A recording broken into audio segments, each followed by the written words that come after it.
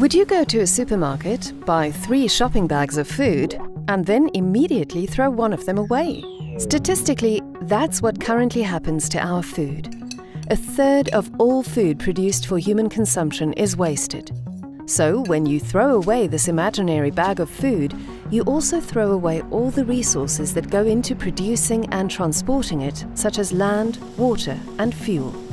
During production, transportation, and while rotting in landfills, food waste emits a lot of greenhouse gases, so much that if food waste was a country, it would be the third largest emitting country in the world. The term food waste does not only refer to the food we throw away after cooking meals, the sources for food waste are far more varied. Every year, the food industry in Europe produces millions of tons of byproducts such as bones, brewers' spent grain, and vegetable peels. As side products of food processing, they are often considered waste. But these residual streams, as professionals call them, contain valuable functional ingredients. Byproducts uh, are now used especially as feed or as a resource for anaerobic digestion, but these byproducts still contain interesting macro components like proteins, uh, fats or sugars, or interesting micro components like vitamins, for example.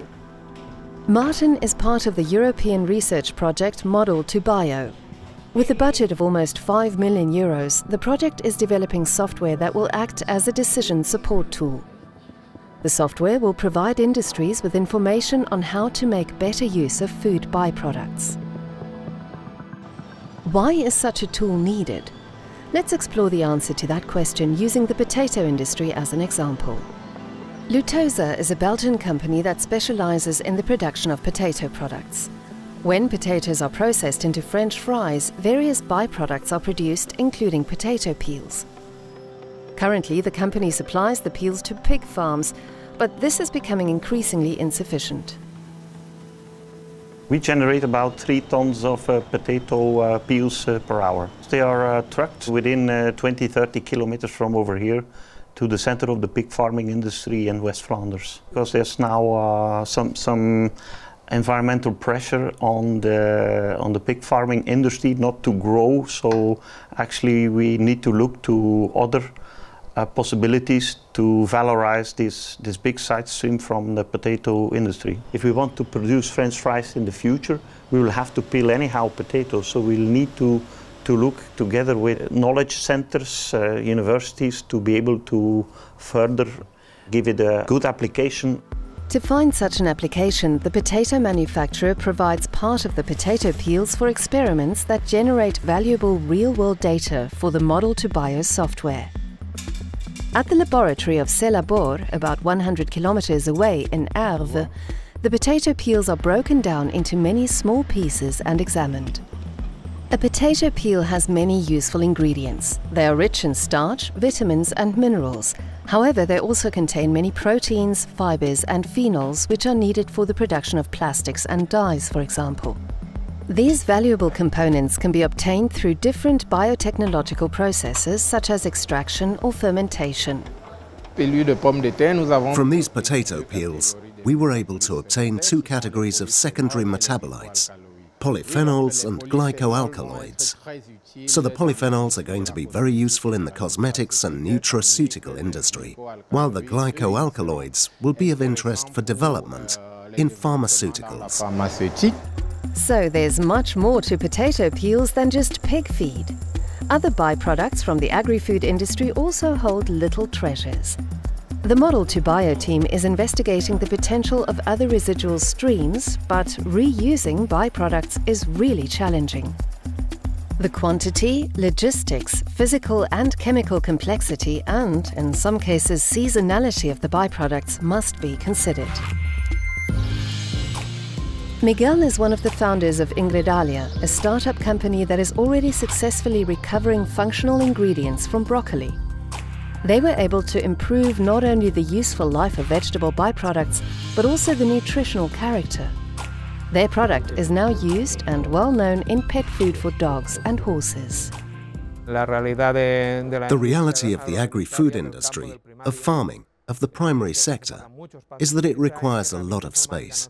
This IT tool allows us to optimize our decisions on where to implement or how to set up a more suitable logistics. This is obviously saving a lot of time, investment and money, which can help us become more competitive in the future and be more efficient in the future. What happens is that the company generates byproducts and often doesn't know how to manage them, which can involve using them as animal feed.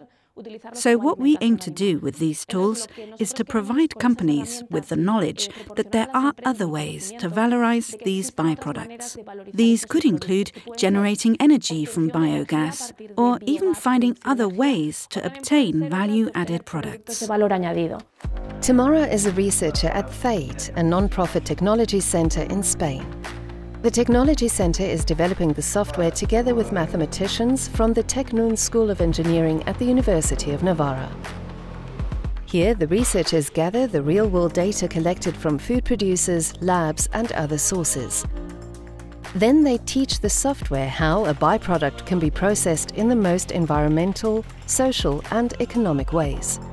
In some cases, it will be best to extract valuable industrial compounds but in others the production of energy is preferable.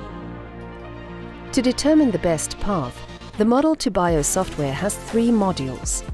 A simulation module, an optimization algorithm and a life cycle assessment module also called the LCA.